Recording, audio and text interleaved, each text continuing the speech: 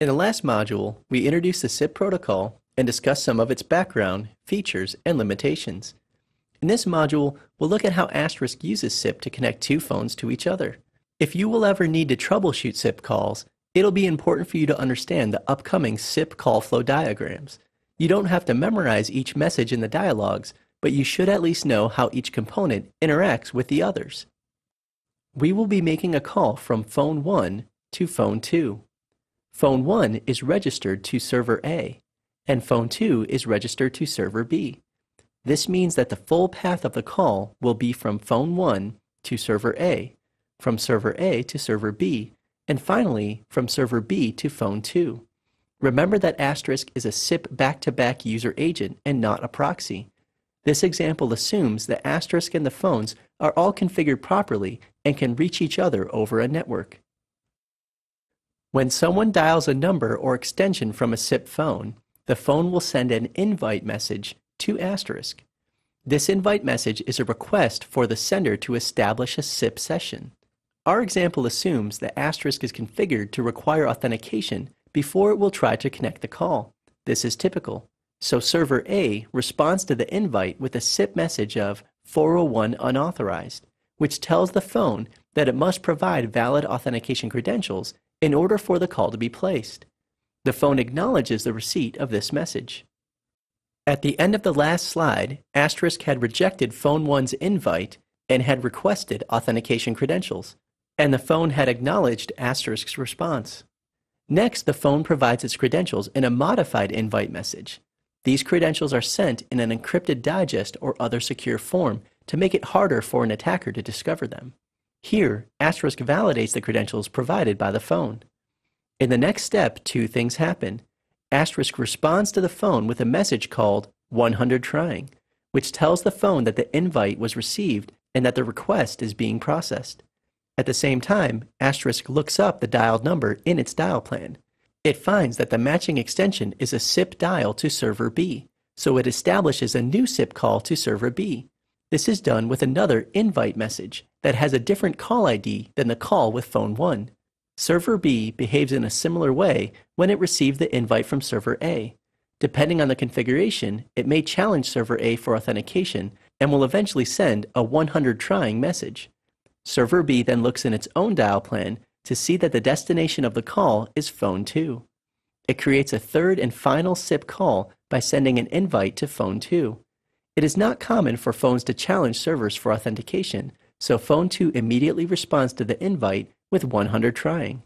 When phone 2 receives the invite from server B, it starts ringing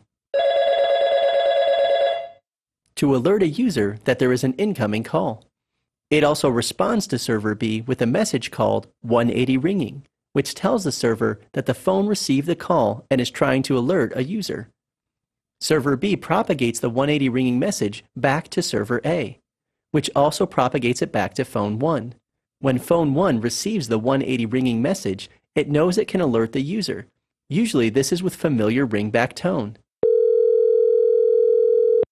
Some devices display messages on a screen or use LEDs to indicate that the far side is ringing. In this example, we assume somebody answers the ringing phone 2. When this happens, phone 2 sends a message to server B called 200 OK. This message generically means that the previous request was successful. In the dialog pictured here, that means that phone 2 was answered. The 200 OK message is propagated back through each of the SIP calls until phone 1 receives it. Phone 1 acknowledges receiving the 200 OK, and the servers in turn propagate that acknowledgement back to phone 2. When phone 2 receives the acknowledgement of the 200 OK, the call is fully established.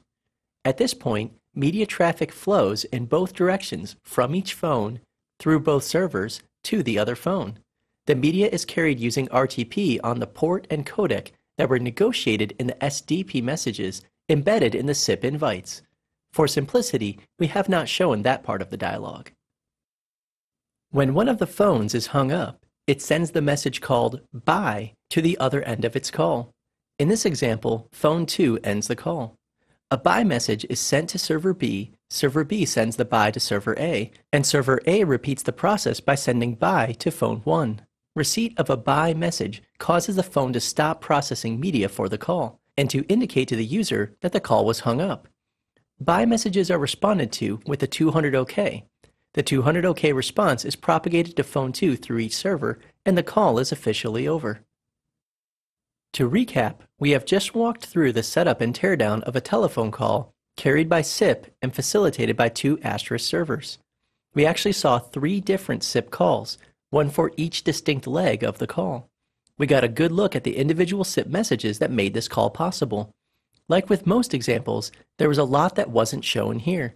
Though we won't cover all of this in detail, it's important to know that the reality of SIP calling is more complex than what we've shown. Some of the specific concepts that we did not demonstrate here are the codecs import negotiation, NAT or firewall transversal, and how SIP authentication works. We also left out all of the configuration details that made this call possible, but you can now move on to the next module where we'll discuss SIP debugging. After that, we'll look more closely at SIP configuration in Asterisk, as well as the issues related to SIP and NAT.